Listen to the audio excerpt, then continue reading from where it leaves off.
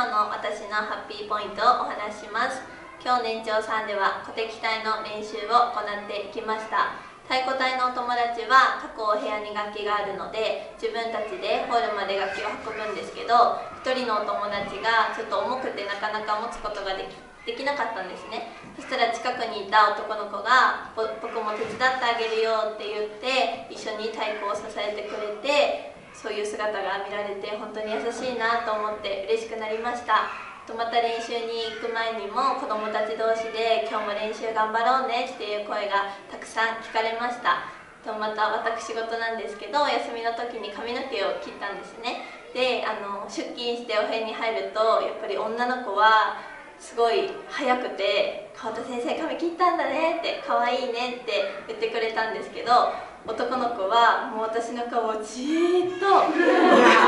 5秒ぐらい見つめてて「えおはよう」って「変わった先生だよ」って言ったら「えー?」って「誰?」って言われて「イメチェンしたの?」って言われて